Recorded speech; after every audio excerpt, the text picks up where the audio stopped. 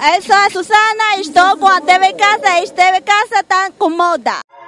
I got ice in my veins, blood in my eyes. Boa tarde. Boa tarde, senhor. Obrigado. Como chama? Eu sou Pedro Jetli, psicler. Pedro, o que, que acha dessa febre de clarear a pele que os famosos aderiram agora? Epá, acho normal, né? Acho normal. Como no Brasil já é uma vivida e já a vida. E também os angolanos têm que aderir, né? Exatamente. Os famosos angolanos também merecem. Achas que estão a fazer bem?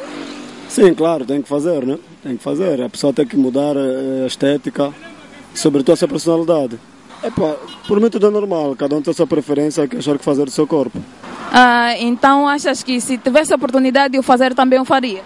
Não, não faria, porque eu gosto de forma que sou e gosto da minha personalidade e agradeço a Deus sobretudo e sou que sou e não mudo nada no meu, no meu corpo, e, definitivamente. Né?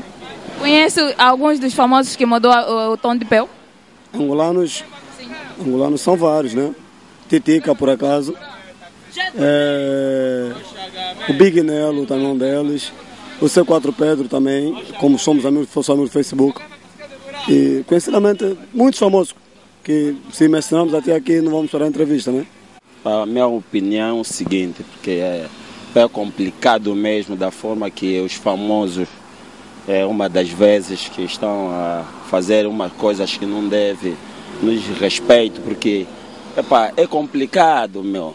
Tu és preto, depois aparecer, é coisa é vermelho, amarelo, é, é complicado, meu. Então não estou entendendo nada até também. Eu vejo até minha prima, inclusive, eu já atualizei que é preta, ficou já diretamente clarinha, é complicado mesmo. Para mim, É um conceito errado no teu ponto de vista? Do meu ponto de vista, é é um conceito mesmo errado.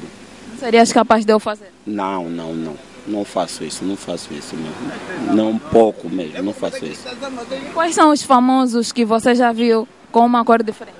Epá, houve a Ari, eh, epá, vi também, epá, quer falar a verdade, eu vi a Ana Paula mesmo também, epá, vi a nossa dama, primeira dama mesmo, eu vi mesmo, epá, é complicado, meu, mesmo complicado.